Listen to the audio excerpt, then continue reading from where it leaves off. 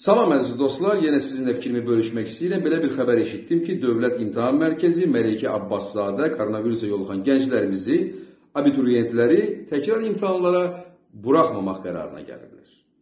Bu qərar olduqca qəddar qərardır. Üstəlik də insan haqlarına zidd olan bir qərardır. Pandemiya ümumdünya bir bəladır. Üstəlik də force major halıdır. Koronavirusa yoluxan gənclərimizin təqsiri varmı?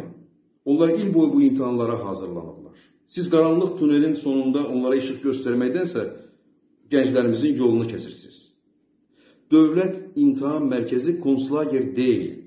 Bu qurum gənclərimiz üçün hizmətə yaranıb. Üstəlik də bizim təhsil haqqımız konstitusiyamızda yazılıb.